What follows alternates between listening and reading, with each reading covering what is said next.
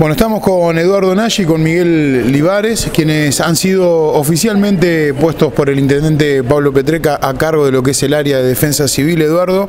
Bueno, y un poco más allá de la presentación formal, porque el trabajo ya lo venían realizando, es eh, recordar, aprovechar para recordarles a los vecinos qué es defensa civil, cuál es la función que cumple y demás. Claro, muy bien lo que decís, porque sí, es cierto, ya lo veníamos haciendo, nada más que ahora sin la responsabilidad del problema de tránsito, eh, nos vamos a dedicar más plenamente a todo lo que tiene que ver con, el área de defensa civil. Y lo primero que vamos a salir a hacer es justamente a dar charlas, tanto a la sociedad de fomento como a las escuelas, vamos a invitar para explicar qué es verdaderamente la defensa civil. La defensa civil en realidad lo que es, es son personas que se dedican a organizar el resto de la sociedad para que el día que hay una situación de emergencias este, o catástrofe, este, podamos actuar todos en conjunto y organizadamente. La respuesta que dimos el año pasado ante la, problemática que se nos venía la inundación encima, que al final no fue, no llegó, si bien fue rural, convengamos que los campos de Junín sufrieron y sufrieron muchísimo,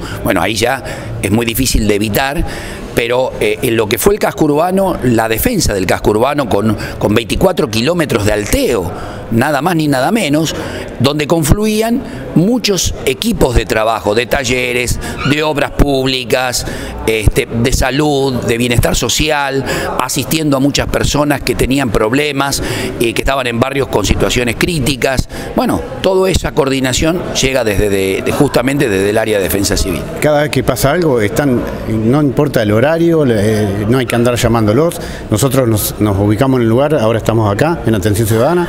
Desde allí este, le, vamos a dar las directivas que hay que hacer para no superponer las tareas y ellos no tienen ningún problema en, sacrificarte por la sociedad. ¿no?